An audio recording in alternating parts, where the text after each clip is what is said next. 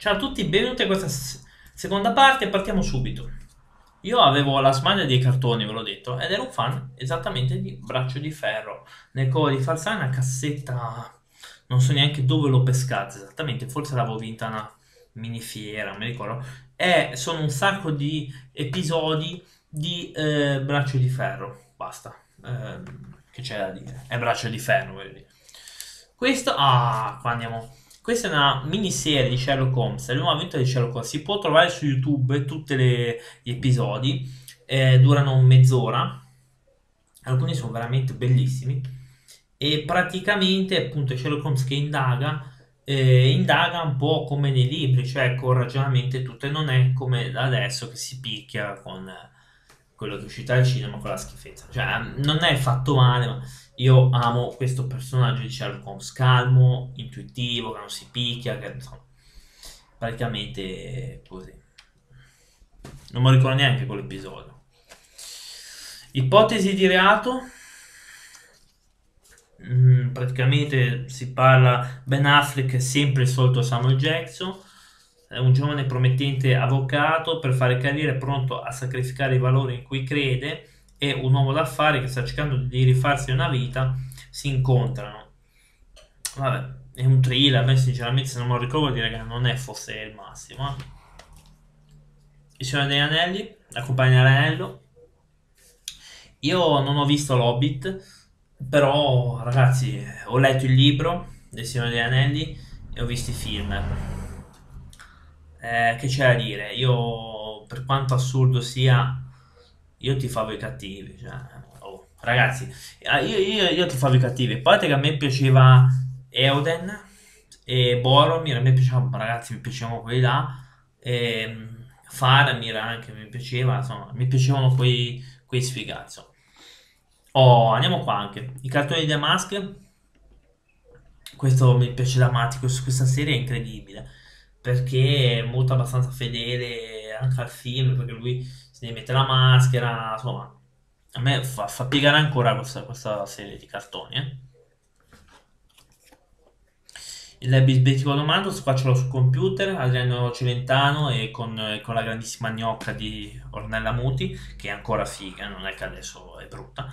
È la storia di questo qui, di questa Elia, che è, una, è un agricoltore in un paesino nei pressi appunto di, di Voghera, che praticamente ha la fama di, di un carattere del cavolo, quindi che lo picchieresti con i bastoni, e rifiuta le donne, eccetera, vive solo con la, con la governante. Una sera arriva, bussa alla porta questa tronco di gnocca, eh, che appunto è Ornella Muti, si fa ospitare per una sera, anche se lui non vuole praticamente là poi nasce tutta la storia che porterà poi, vabbè, non vi spoilerò niente, era bellissima la partita di basket finale di lui, che da solo sconfigge la squadra di basket del Cantù, incredibile, vabbè, se lo faccio io mi devo portare via.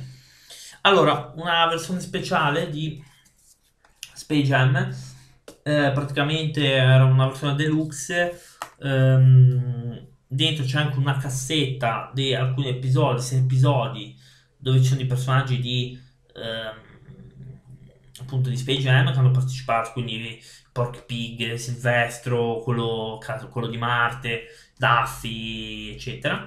E poi, ragazzi, Space Jam, io me lo guardo ancora da matti questo. Questo, questo per me è uno dei miei film preferiti, anche il Bisbetico Domato ce l'ho ancora. Eh, assurdo, a me piace da matti, Michael Jordan Oh, io ci sono cresciuto questo film, e poi non so voi. Chi non l'ha visto, se lo guardi per favore.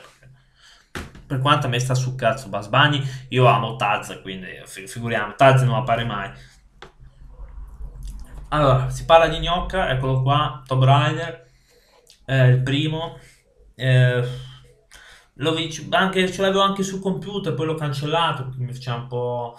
Cioè, la storia di, di Lara Croft che deve salvare tutto, vabbè in realtà si guarda perché c'è questa qua, eh, non, non, ci stiamo a pigliare per, i, per i fondelli, io l'ho guardato per questa, però vabbè, sarà un discorso maschilista, però ragazzi, eh, siamo uomini anche noi.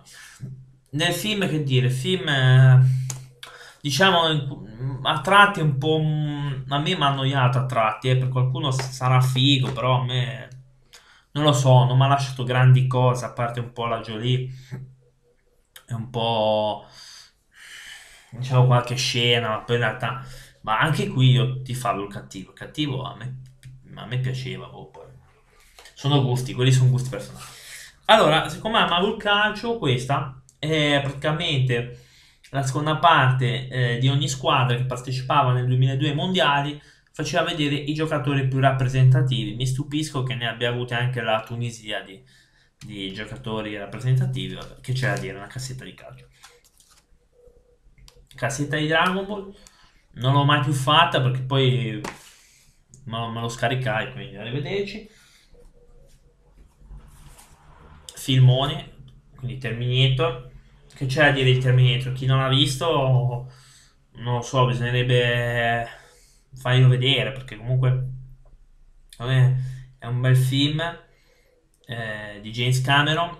Questo in seguito mm, mi è piaciuto da matti, poi dal 3 ho iniziato a fare delle cose. Il 3, eh, poi, poi è chiaro che ci fanno i soldi, allora devono fare sempre sti cavolo di requel, sequel, prequel, report, cazzate varie. Io il primo lo guardo ogni tanto ancora, ce l'ho sul computer, è un bel film sicuramente. Poi è di un ottimo regista. Ah, questo me lo sarò consumato da piccolo, vacanze Natale 90, lo so che molti storceranno il naso, che metto vicino a Terminator, poi metto sta roba. Però ragazzi, io da piccolo me li sono scoppiati tutte le commedie italiane, me le sono viste tutte. Eh, se dovessi fare un film guarderei questo per non fare le stesse cose.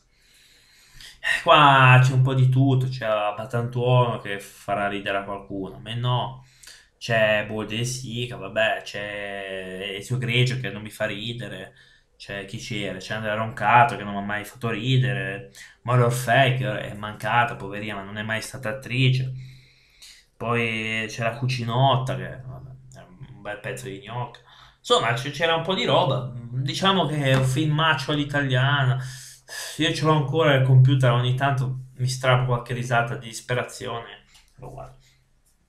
Ah, questa è la saga dei dinosauri. Come voi ben sapete, nella parte 1 c'era la storia di quel poveraccio volante che doveva rimorchiare morto.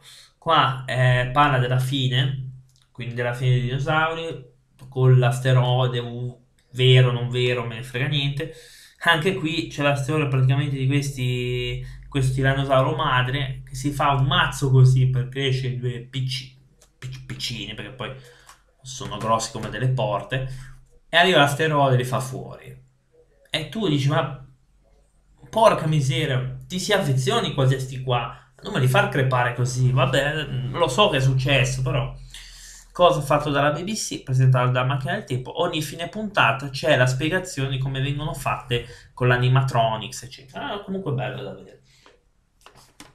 Capriccio all'italiana, una cassetta, questa non so dove l'ho presa una cassetta dove ci sono degli spezzoni di vari comici italiani, ehm, di vari registi, c'è Monicelli, c'è Pasolini, Bolognini, Franco Rossi, Pino Zacche, Totò in due episodi, in eh, Il mostro della domenica e Cosa sono le nuvole. Boh, non me lo ricordo, evidentemente niente di particolare. Oh, questo è un film che io ho amato alla follia me la sono consumata Games of New York Cameron Diaz Leonardo DiCaprio Daniel Day-Lewis. Veramente crudo film crudo. La storia appunto di eh, nel sobborgo Five Points eh, dove ci sono queste bande di immigrati i conigli morti e i nativi si fronteggiano sempre per spartirsi il territorio dove c'è appunto il il macellaio che io adorato. Io amo tutti i cattivi. Hanno rotto le scatole, sti buoni. Boh. Capo dei nativi uccide il reverendo Vallo, che guida i conigli morti. Giustamente è morto, quindi. Diventando il padrone, incontrastato appunto di Five Points. Anni dopo il figlio, che è sempre questo cavolo di, di DiCaprio, vuole vendetta, eccetera. Si finge alleato del nemico e conosce la donna di questo Bill che è Cameron Diaz. Eh, è bello, un bel film questo. A me è piaciuto. Poi questo tizio con queste mannaie da macellaio che ci combatte, ci si picchia. Io veramente lo amo. Uno dei miei film, non è preferiti, però lo vedo sempre con molto piacere. Anche questo lo vedo molto volentieri. Insider, detto la verità, con eh, Al Pacino, grande Al Pacino e Russell Crowe. Eh, un film di denuncia, appunto, eh, diretto, questo direttore della ricerca scientifica fanno questa mega battaglia contro la, la rete televisiva CBS perché avevano fatto un servizio questi qua sulle sigarette, sulle cose nocive. Quindi qua ovviamente si finisce bene, però un film sicuramente da vedere. Oh, questo veramente non me lo ricordo. Um, U571, boh, credo che sia di guerra, non me lo ricordo assolutamente, vuol dire che non mi è piaciuto. Operazione sottoveste, penso che molti di voi lo conosceranno, con appunto Cary Grant, eccetera. Parla appunto di questi qui che sono... Eh, c'è questa, questa incursione giapponese, insomma, solite cose, sono dei grandi film. Effettivamente questo ancora, ancora da vedere c'è. Come ho detto prima amavo i documentari, quindi l'Egitto. E qua astronomia. Qua si parla inizio il viaggio nell'universo. Vabbè. Ah, eh, avete visto che la NASA ha scoperto dei pianeti che sembrano anche la Terra?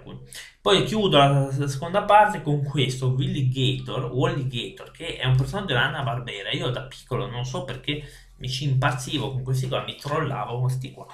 Um, questa è la seconda parte ci sarà la terza, la, credo anche una quarta parte perché ce ne sono veramente tante. Quindi vi do appuntamento alla terza parte della mia collezione e non è neanche finita qua. Nonostante tutte queste parti, ce ne saranno ancora. Quindi vai con la, con la terza parte tra pochissimo.